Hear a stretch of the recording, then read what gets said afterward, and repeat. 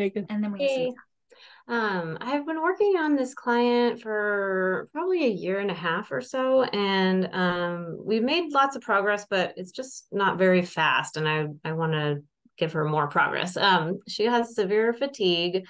She'll go to bed at 7 p.m. She'll take a nap. Um, she was diagnosed a couple of years ago with Epstein Barr. I don't know if she still has it. Um, Okay. There was talk of maybe she had mono. Um, so I've been doing, I've been trying to focus on the lymphatic system and working on the lungs and combing the health rays and um, cleaning the arms and legs a ton and doing lower chakras a ton. And it's kind of like, um, it's just not a big change. It's just like really slow and um, and then I thought, I don't know if there's an endocrine issue. I know that can be involved in fatigue, and I'm just less uh, knowledgeable about endocrine than. Yeah, sure, sure. Well, the endocrine system super complicated. Um, it, it- like, is there any other kind of details or anything? We just know that she's Um, fatigued. uh, it was really low blood pressure before, but now it's it's pretty close to normal on the low side of normal. And then thyroid was an issue. Low thyroid. And is the thyroid getting better or no? I don't know. I haven't asked if she's had that tested, and I I, don't. I would treat the thyroid. Um, you could have her use uh, clove to to balance. Like anytime the thyroid's off, clove, be it too high, too low, can help balance balance things out.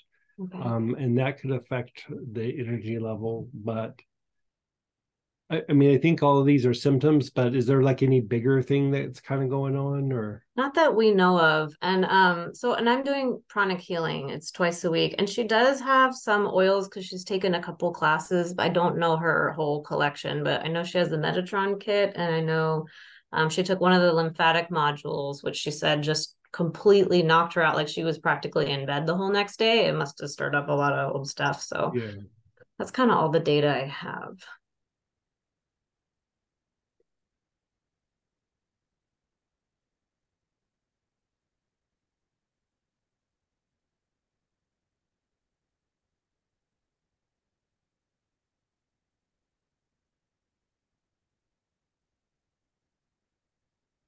And you want to treat her with oils, or you want to treat her with pH?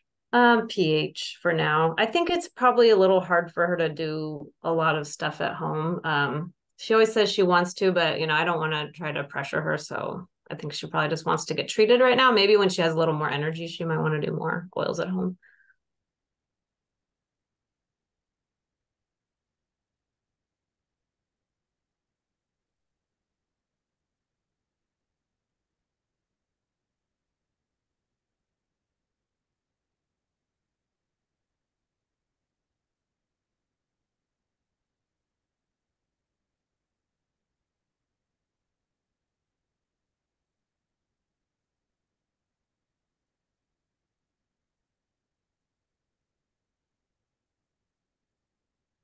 Okay, this is this is w- what I'd like you to like kind of focus on is you're going to do this thing where you're going to have her visualize when you're working on her, right? Okay. And so have her visualize herself in a ball of light. Okay. While she's doing that, you sweep the the aura. Like, you know, you just do general sweeping. Mhm. Like go through, clean up front, back, and even on the sides. Like, you know, like look at it from the side and like you're sweeping the front of her body, but like, you know, do five lines on on each side. Like you're Okay. you're really doing that. And then even clean the like after you have swept it down, she's still visualizing the ball. Clean the basic, the spleen, the Mingmen, and a crown in that order. Basic, spleen, Mingmen, crown. Okay. Okay.